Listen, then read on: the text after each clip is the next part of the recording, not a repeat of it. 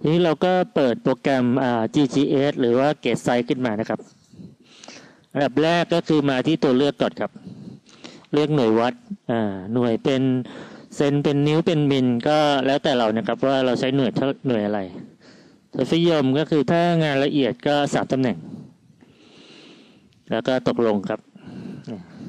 ทีนี้ถ้าเราต้องการดิจิ ก็คลิกตรงนี้ได้เลยครับ ถ้าเราเปิดกระดาษดิจิไว้แล้วก็ คลิกตรงนี้ได้เลย เสร็จแล้วก็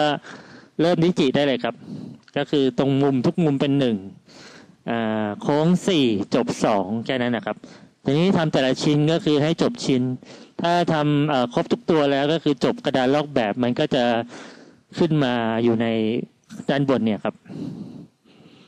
อันนี้ผมลองเปิดงานไฟล์เก่ามาดูนะครับอันนี้งานที่เราดิจิเข้ามาทุกไซส์เรียบร้อยแล้วครับผม ทีนี้ถ้าต้องการจะเก็บชิ้นตรงนี้ก็คือเป็นเครื่องมือการเก็บชิ้นนะครับ แล้วก็เลือกลงมาชิ้นใดชิ้นหนึ่งออันนี้ก็คือย่อลงมา อันนี้ก็คือขยาย ขยายก็ครอบครับผม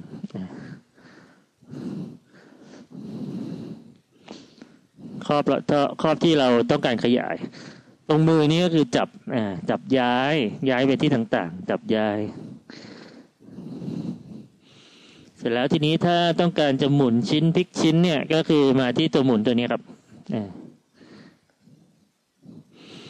อันนี้ก็คือหมุนตัวเข็ม ทีละเก้าสิบองศา อันนี้ตามเข็มครับ ไอองศาตรงนี้เนี่ยเราสามารถจะกำหนดได้ว่าต้องการเท่าไหร่ 45 องศา 90 องศาหมุนได้ครับ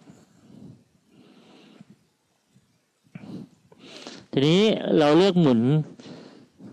หมุนชิ้นหมุนทั้งเกณฑ์หรือหมุนเฉพาะชิ้นเกณฑ์ไม่หมุน หรือหมุนเฉพาะเกณฑ์ชิ้นไม่หมุนก็ได้ครับ แล้วแต่ทีนี้ก็ปิดไปครับทีนี้เครื่องมือที่เราจะเรียนรู้กันเนี่ยก็คืออมีการตรงนี้เป็นการกำหนดรอยบากครับผมสมมติว่าเราต้องการให้บากตำแหน่งไหนออันนี้เดี๋ยว เก็บชิ้นที่เราไม่ต้องการใช้ก่อนนะครับ เก็บชิ้นก่อน อ่า แล้วก็ซูมอันนี้ก็คือเต็มจอครับ เราต้องการบากตรงไหน จริง ๆ บากในกระดานดิจิก็ได้นะครับ กดเลขสาม หรือจะมาบากตรงตัวนี้ก็ได้ครับ มันก็จะเป็นจุดบากให้มันรู้ว่าตรงนี้คือตำแหน่งที่เราต้องการเป็น กระดุมเป็นรอยผ่าอะไรก็แล้วแต่ฮะตรงนี้ครับผมตอนนี้ถ้าต้องการจะแผ่สันทุบให้เลือกตรงนี้นะครับอ่าเลือกลูกศรสีดำแล้วก็คลิกสายค้างที่จุดเริ่มต้นนะครับ แกนที่เราจะแผ่ตามเข็มนาฬิกานะฮะอย่าทวนเข็มตามเข็มก็คือคลิกซ้ายจากจุดด้านล่าง คลิกซ้ายค้างนะครับ แล้วไปปล่อยที่ไซส์กลางอ่าไซส์กลางเท่านั้นนะครับ ก็คือเราที่จิตจากเลขสุดก็ปล่อยครับ เสร็จแล้วก็มาเลือกตัวนี้ครับอ่ามันจะแผ่ให้อัตโนมัติเลยครับผมเพราะงั้นเราสามารถดิจิแค่ครึ่งเดียว แล้วก็มาแผ่ในโปรแกรมก็ได้ครับ หรือเราต้องการจะเช็คเอามือมาจับย้ายก่อนครับ วาง ต้องการจะวัดใช้สายวัดวัดตรงนี้ครับ คลิกซ้ายค้างไว้คลิกซ้ายแล้วปล่อยครับ คลิกซ้ายจุดนี้มาจุดนี้ อย่าลืมนะครับ วัดได้เฉพาะไซส์เวลาคลิกเนี่ยไซส์อื่นจะจะไม่ขึ้นนะฮะก็คือต้องไซส์ที่เราเล็กสุดก็คือไซส์กลางที่เรา digi ฮะเล็กสุด มันจะขึ้นสีดำอ่าแล้วก็คลิกซ้าย แล้วก็มาวัดวางไว้ตรงนี้ ตามเข็มนาฬิกาครับ มันก็จะบอกเราว่าแต่ละไซส์เนี่ยแต่ละเส้นเนี่ยยาวเท่าไหร่ หน่วยเป็นนิ้วไซส์ S สิบจุดห้าสองไซส์ M สิบเอ็ดจุดหนึ่งห้านี่คือผลต่าง แต่ละไซส์ก็คือต่างกันอ่าจุดหกอันนี้ต่างกันจุดจุดหนึ่งอ่าอันนี้ก็คือวัดแต่ละไซส์แต่ละเส้นนะฮะเราต้องการวัดตรงไหนก็คือคลิกซ้ายค้างอ่าแล้วก็มาวางที่จุดอ่าอันนี้ก็คือวัดเส้นโค้งครับเส้นโค้ง หรือจะใช้เครื่องมือตัวนี้ก็ได้นะครับเลือกลูกศรก่อน แล้วก็มาเลือกเครื่องมือตัวนี้ก็วัดเหมือนกัน จะวัดเส้นเดียวหรือวัดหลายเส้นก็ก็ได้ครับสมมติว่าเราต้องการคลิกจุดนี้คลิกซ้ายค้างแล้วก็มาวางจุดนี้ปุ๊บตามแนวโค้งนะครับ แล้วก็คลิกเครื่องหมายบวก ก็คือมันจะวัดไซส์เส้นตามเส้นโค้งนี่ฮะไซส์ S เล็กสุด 17.915 ครับผม สมมติว่าเราต้องการวัดหลายเส้นนะครับ ก็เมื่อกี้เราวัดเส้นนี้แล้วใช่ไหมฮะเราต้องการวัดเส้นอื่นอีก อย่างเช่นว่าเราต้องการวัดเส้นนี้บวกกับเส้นเส้นโค้งอันแรก เราก็เลือกจุดนี้ครับคลิกซ้ายค้างแล้วก็วางปุ๊บแล้วก็กดบวก นี่หมายถึงวัดเส้นที่หนึ่งกับเส้นที่สองรวมกันนะครับถ้าเคลียร์ก็คือลบปุ๊บเอาใหม่ เริ่มต้นจะวัดเส้นเดียวก็ได้ครับ ก็คือคลิกซ้ายที่จุดเริ่มต้นกับคลิกซ้ายกลางแล้วก็มาวางอ่าแล้วก็คลิกเครื่องหมายบวกครับผมอันนี้คือวัดเส้นเดียว ถ้าวัดอีกเส้นก็คลิกซ้ายต่อไปแล้วก็วางปุ๊บแล้วก็บวกอ่าเส้นที่หนึ่งบวกเส้นที่สองอ่าเคลียร์ก็ลบครับผมก็สามารถใช้ตัวนี้ในการวัดได้เหมือนกันครับ ส่วนรายชื่อเนี่ยว่าชิ้นหน้าชิ้นหลังเนี่ย ตอนเราดิจิตเสร็จแล้วเนี่ย เราก็ดับคลิกเข้าไป แล้วก็ใส่ชื่อเลยครับ ถ้าเคยพิมพ์ไปแล้วเนี่ยมันมาเลือกด้านหลังได้เลยครับว่าชิ้นหน้าชิ้นหลัง หรือจะพิมพ์ใหม่ก็ได้ครับ แล้วแต่จำนวนนี้ก็คือหนึ่งชิ้นครับผม ถ้าต้องการไปพลิกในตัว mark กับซ้ายกับขวาเนี่ยให้ใส่เป็นหนึ่งชิ้นไปก่อน แล้วก็ผ้าอะไรเราต้องการจะให้ระบุผ้าชนิดไหน หมายเหตุอะไรก็คือใส่ไปตกลงปุ๊บอ่าแล้วก็ pattern กำหนดไซส์อ่าอันนี้เราต้องการกี่ไซส์เราก็ใส่ไปครับผมตกลงทีนี้เครื่องมือที่เหลือก็เกณฑ์ผ้าจริง ๆ เกณฑ์ผ้าเนี่ยเรากำหนดในกระดานดิจิก็ได้ฮะก็คือกดดีๆ หรือจะมาหมุนเอาตรงนี้ก็ได้ครับอ่าตรงนี้ก็คือหมุนเกณฑ์ได้ ถ้าเราลืมหมุนในกระดานดิจิกำหนดเราก็มาหมุนตรงนี้เอา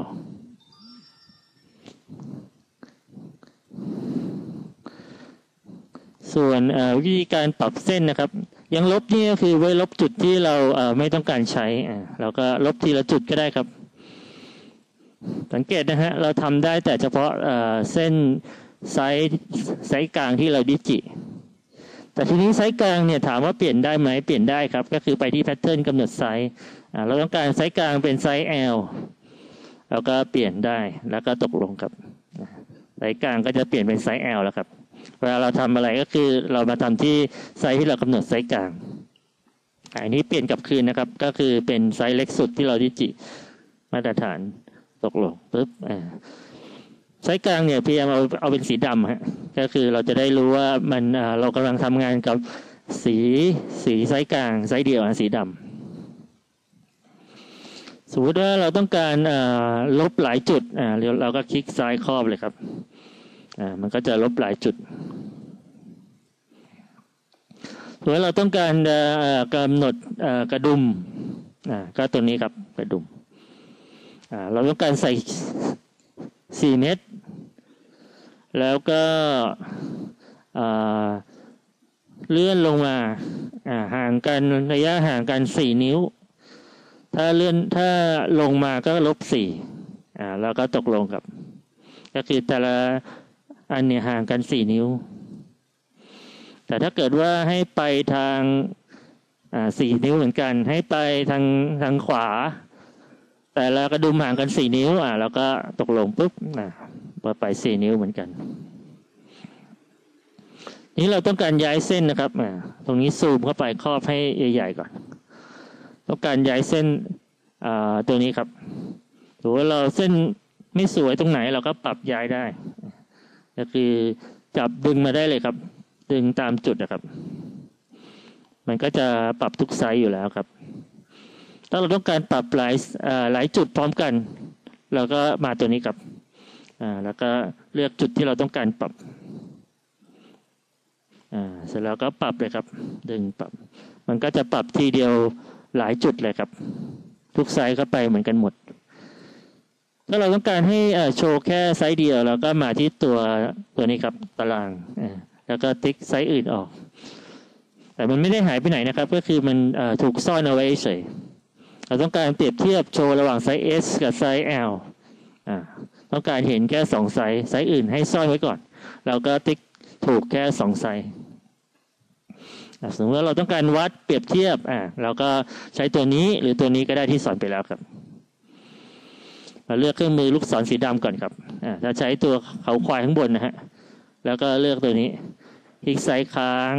มาปล่อยที่จุดนี้ ตามเข็มนาฬิกานะครับ อย่าลืมแล้วกดเครื่องหมายบวก ไซส์ S ก็คือ 18.299 ไซส์ L ก็คือ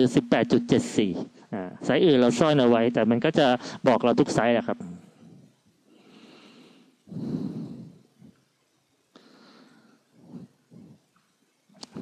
สมมติว่าเราอาจจะ digi ไม่ตรง เราต้องการหมุน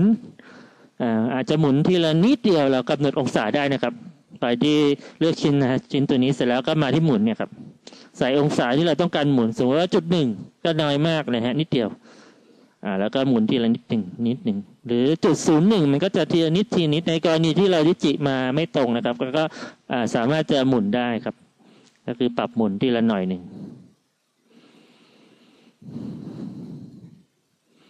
อ่าสมมติว่างานที่เราใส่ชื่อใส่อะไรเสร็จเรียบร้อยแล้วเนี่ย เราจะบันทึกก็กดเซฟครับอ่าอันนี้เราตั้งชื่อไว้แล้วหนึ่งหนึ่งหนึ่งแต่นี้ถ้าเราต้องการตั้งชื่อใหม่ ก็ไปที่แฟ้มแล้วบันทึกเป็นอ่าอาจจะตั้งชื่อใหม่เป็นสองสองสองก็แล้วแต่นะครับ save เอาไว้จำไว้ด้วยนะครับว่า save ในโฟลเดอร์ไหน เวลาหาจะได้หาเจอ แล้วก็ save ลงไปครับอ่า เสร็จแล้วก็ไปเปิดตัววาง mark เพื่อจะพอดงานวาง mark plot งานสังเกตไซส์จริง ๆ แล้วเนี่ย ถ้า digi มาสวยแล้วก็ไม่จำอาจจะไม่จำเป็นต้องใช้เครื่องมืออะไรเลยนะฮะก็คืออตั้งชื่อเสร็จแล้วก็ไปไปที่วาง mark เลย เพราะว่าเครื่องมือเนี่ยเราจะไม่ได้ใช้ทุกตัวหรอกครับ จะใช้แค่เป็นบางตัวเท่านั้นเองครับยิ่งถ้างานจาก digi ก็แทบจะไม่ต้องใช้เลย เพราะว่านี่เราสามารถขึ้นงานสร้าง pattern จาก โปรแกรมตัวนี้ได้ไม่งั้นเครื่องมือมันจะคล้ายๆ กับตัวโปรแกรมสร้างครับ แต่ถ้างานดิจิมาก็ดิจิเสร็จแล้วก็ไปที่ตัววางมาร์กได้เลยครับ เพื่อจะวางมาร์กคอดงานต่อไปครับผมตัวอักษรในชิ้นนะฮะถ้าเกิดว่าต้องการให้ใหญ่ก็ไปที่ตัวอักษรครับเลือกอักษรอ่าแล้วก็เลือกตัวอักษรที่ลงท้ายด้วย UPC และกูล่า ตรงนี้ก็ไซส์ใหญ่สุดเลยครับสกิปเป็นไทย โอเค เสร็จแล้วก็มาที่ตัวเลือกครั้งหนึ่งตัวเลือกอตรงนี้ก็คือกำหนดข้อมูลบนเกรนผ้า เราต้องการให้โชว์อะไรบ้าง ชื่อชิ้นงานสไตล์ชื่อชิ้นงานลูกค้าที่เราเขียนเอาไว้ โชว์บนชิ้นงานเนี่ยหมายเหตุไซส์จำนวนอ่าแล้วก็ตรงนี้ติ๊กทั้งสองอันเลยนะครับ แล้วก็มาที่เลือกสอนเลือกที่ลงท้ายด้วย UPC และกูล่าตรงนี้แล้วก็ไซส์ใหญ่สุดก็ได้ครับสคริปเป็นไทยก็โอเคครับผม โอเคอ่าไซส์มันก็จะใหญ่ขึ้นมาแล้วครับ